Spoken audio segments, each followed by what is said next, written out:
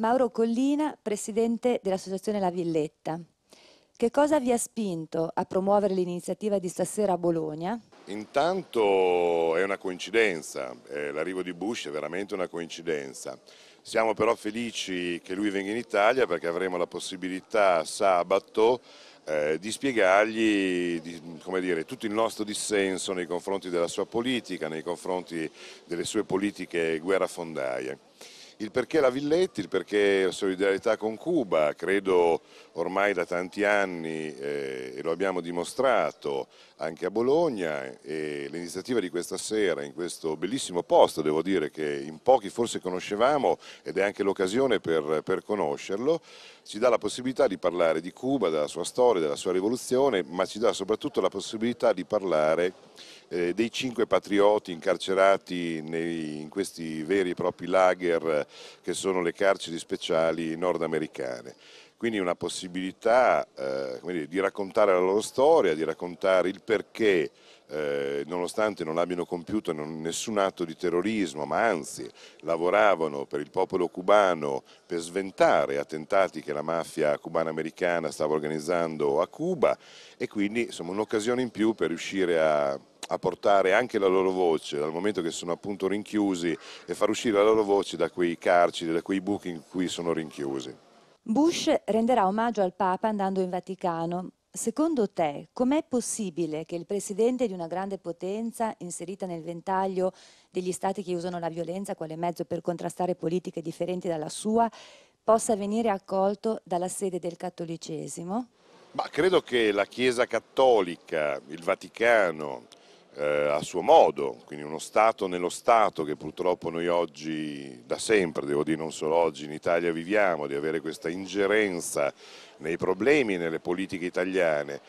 Beh, è evidente che oggi la Chiesa si deve porre nei confronti eh, di chi si sta mettendo come padrone del mondo, deve, in qualche modo forse deve anche contrastare questo dominio. Quindi non so, si racconteranno quattro cose, parleranno di diritti umani, ma come al solito poi sappiamo come vanno a finire queste cose. Il giro che Bush farà a Roma è un giro interessante.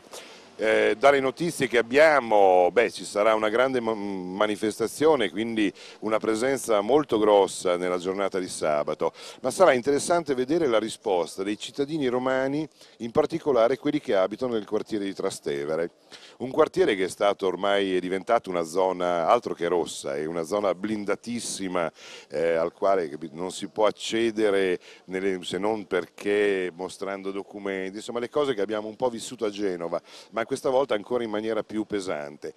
Lì io credo che la risposta sarà interessante e peccato però ho un dubbio e lo voglio dire, la stampa, i media, cosa diranno, cosa racconteranno dell'accoglienza che i cittadini romani di quel quartiere faranno al presidente imperatore? E questo è il dubbio che in molti abbiamo perché conoscendo appunto questi pennivendoli eh, dell'informazione sicuramente crediamo che insomma, faranno finta di niente.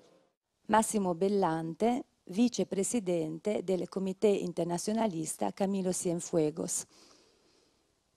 Perché questa tua attenzione rivolta a Cuba? Perché Cuba? Beh, perché Cuba è un paese che rappresenta un, come dire, in un periodo come questo, in un momento come questo, dove nel mondo succedono tante tragedie, tante situazioni complicate, dove abbiamo un'arroganza e un dominio degli, di stati potenti. Sembra che Cuba è un unico, uno dei pochi paesi che cerca di resistere, comunque di tenere duro a, a dei ideali di, di libertà e di, e di, uguaglianza, che sono un po', che un po sono, noi occidentali forse non riusciamo a comprendere, ma che sono fondamentali soprattutto in America Latina. Siamo in compagnia di Claudio Coronati, che figura essere tra gli organizzatori della serata Bologna per Cuba in occasione dell'imminente visita del presidente George W. Bush a Roma. Come mai queste iniziative? Perché proprio qui a Bologna? Ma guarda, eh, innanzitutto Bologna è molto rappresentativa in questo momento perché dire Bologna è dire Roma, perché Romano Prodi è di Bologna ed è al tempo stesso il nostro comandante in capo eh, noi italiani, però noi che ci riteniamo più cubani che italiani eh, per noi il nostro comandante in capo è Fidel Castro. E ovviamente Bush eh, per noi che di cuore diciamo, siamo più cubani che italiani e comunque senz'altro non eh, prodiani, eh, riteniamo che il, la venuta di Bush a Roma, in Italia, a Bologna, poi magari andrà pure a pranzo con Romano qui a Bologna, eccetera, è un'offesa alla dignità e alla sovranità del popolo italiano che lavora 365 giorni all'anno, esattamente come eh, tutti i popoli del mondo, anche quelli più sfruttati de, de, dell'italiano, per esempio Cuba che è vittima di un blocco economico, di un embargo, eccetera. Soprattutto la cosa mostruosa ci pare che si debba paralizzare un paese per l'arrivo di un criminale di guerra, di un terrorista internazionale che è Bush, che combatte il terrorismo internazionale solo quando gli fa comodo, ma ad esempio si dimentica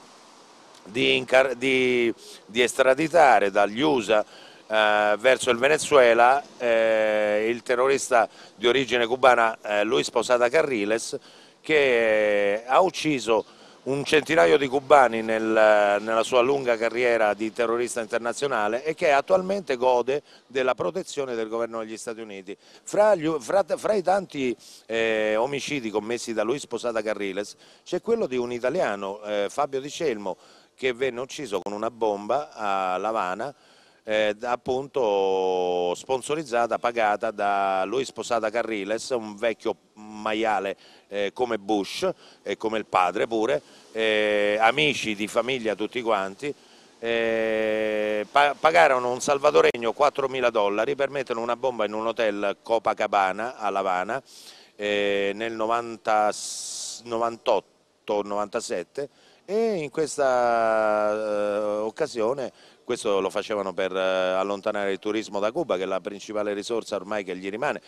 dopo il, la caduta anche del blocco socialista e oltre all'embargo economico e il bloccheo de, de, degli Stati Uniti ormai cinquantennale e allora l'obiettivo era quello di allontanare il turismo che è l'unica risorsa che mantiene in piedi Cuba eh, economicamente e si trovò disgraziatamente in quel momento nella reception dell'hotel Copacabana un italiano, un giovane ragazzo, Fabio Di Celmo, che venne colpito da una scheggia di questa bomba C4, a base di C4, eh, che lo colpì, lo colpì alla giugulare e lo fece morire dissanguato nel giro di due minuti. Cosa ne pensi della visita di Bush alla comunità di Sant'Egidio, associazione dichiaratamente pacifista? Ma guarda, a me basta e avanza aver eh, visto e filmato all'interno dell'associazione eh, Sant'Egidio appunto a Trastevere eh, sette anni fa eh, l'unico sopravvissuto eh, della spedizione in Bolivia del CE, Benigno,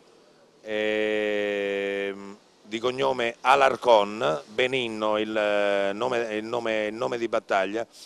non è l'unico sopravvissuto della spedizione in Bolivia, è l'unico fra i due o tre sopravvissuti della spedizione in Bolivia che ha tradito la rivoluzione cubana e venne ospitato proprio dalla comunità di Sant'Egidio a Trastevere e noi lo andammo a filmare spacciandoci per giornalisti in, eh, così freelance e mandammo il filmato in giro per il mondo a dimostrare che Benigno era insieme alla comunità di Sant'Egidio, un agente della CIA.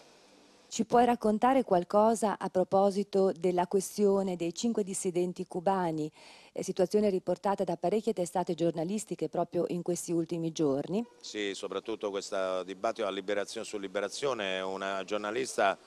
eh, di rifondazione comunista, Cinzia non so che, Nogioni, Nigioni,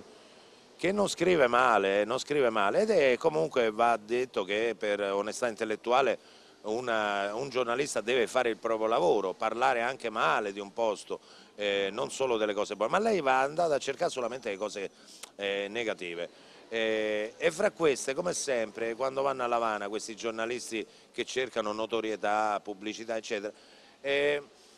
vanno cercando i, i cosiddetti dissidenti cubani. Bene, i dissidenti cubani in confronto ai dissidenti italiani che sono migliaia ancora in carcere, non dimentichiamoci che ci sono ancora 200 prigionieri politici in Italia e che in Spagna che ce ne sanno 600 o, o quasi 800, eh, non necessariamente colpevoli di, di delitti di sangue, ma anche per delitti di opinione, beh, se Cuba, che è un piccolo paese, anche Cuba incarcera ogni tanto e poi non è che fanno una brutta vita in carcere, forse la fanno meglio di quella che la fanno fuori, perché fuori sarebbero presi a, linciati moralmente dal popolo cubano che nella stragrande maggioranza appoggia la rivoluzione e odia chi disconosce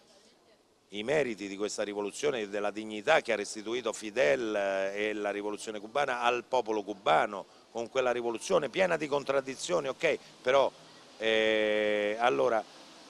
questi dissidenti, diciamo, chiamiamoli così, è ovvio che ci stanno anche a Cuba, allora vogliamo dire una cosa, non c'è democrazia a Cuba? Va bene, io sono un giornalista che ha visitato Cuba 25-30 mm, volte, ho intervistato Fidel Castro tre volte, ebbene, più di Oliver Stone e Gianni Minà,